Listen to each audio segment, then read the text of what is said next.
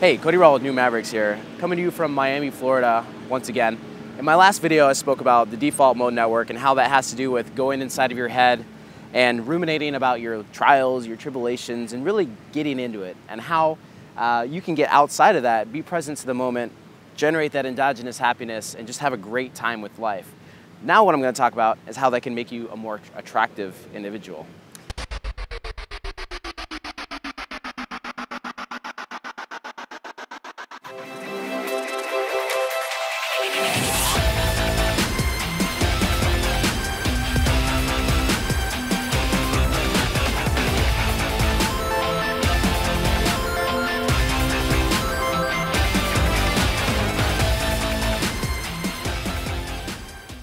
So how does that happen?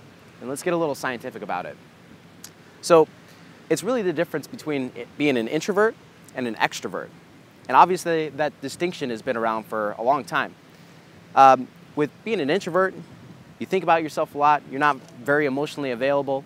And um, with being an extrovert, you're kind of out there just having a great time, very expressive, uh, generally more of a fun person. Now, people can argue each side, but typically what you find is that people that are extroverts are rated as being more attractive. I just looked at a study the other day. They took 275 people. Uh, they had this scale where they rated themselves on um, different emotional states that they had been in in the last week. And what that was designed to do is to measure their degree of being an introvert or an extrovert.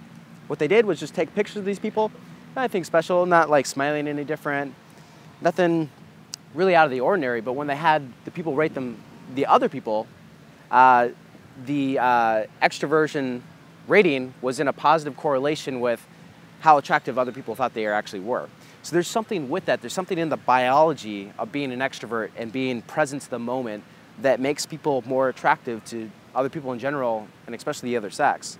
Um, what I talked about with my fractal brain video a couple of months ago was there is this structure of with your belief system, rating to your thoughts, to rating to your behavior, and out through to the environment that shows how you're feeling on the inside. And people are really keen on picking that up. There's something in the human brain that is incredibly keen on understanding where other people are coming from. Uh, researchers in the late 90s, early 2000s developed this theory. Uh, they called it the mirror neuron. And what they found was that within monkeys, uh, if a monkey either picked up an object or saw another person picking up an object, uh, the same neuron would light up. So basically, they were um, seeing their brain was uh, functioning in the same way despite not actually doing the active task. And with fMRI scans later, they found that emotional states were in the same, uh, in the same realm. So what I'm trying to say is that people can pick up your emotional state. It's a, there's another concept called state transference. So if you're feeling nervous, if you're feeling closed off and uh, generally uncomfortable and you're talking to someone, they're gonna feel that too. Their mirror neurons are lighting up, the state is being transferred to them, and they're gonna feel uncomfortable. They're not really gonna wanna be there to interact with you. Uh, conversely, if you're feeling open, if you're feeling content, if you're feeling good about life, they're gonna feel that too. And generally what's gonna happen there is that the people are gonna stick around and wanna be in your presence more. They're gonna be, a, a, they're going to be wanting to be around you and experience you for you. Now, what that does is it creates relationships. With time is the building of relationships, it's the trading of stories, it's finding connections, it's finding if you're compatible with other people, if you share common goals, if you can really benefit from being in a, in a relationship with them. So being out of that default mode network and being in that present moment and generating that endogenous happiness is going to make you a more attractive individual overall. Have people want to be around you because they can feel your state transference through concepts like the mirror neurons and generally help you build relationships with people so that you can um, find people, find resources, find what you need to be the most successful individual that you can be, which is very important if you're someone like a new maverick who's trying to improve themselves every day and just become uh, the best version of yourself that you can possibly be. So my go-to tasks for these two videos on the default mode network, start meditating, or at least try it.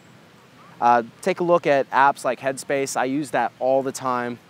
I really enjoy it. They take you through uh, the exercises and you can generate that feeling of contentment every morning when you do your morning meditation. Number two, find a, find a task that you enjoy. Get into that flow state. Maybe it's an art project, maybe it's a sport, maybe anything that gets you outside of your head, enjoying life, and do that more and more often. Get into it. Enjoy the present moment so you can generate that endogenous happiness and that feeling that other people want to be around, that other people want to be a part of.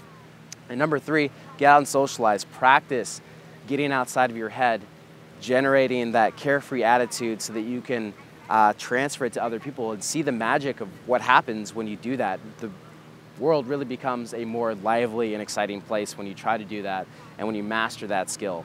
So this is Cody Rall with New Mavericks. I hope you enjoyed my talks on the Default Mode Network.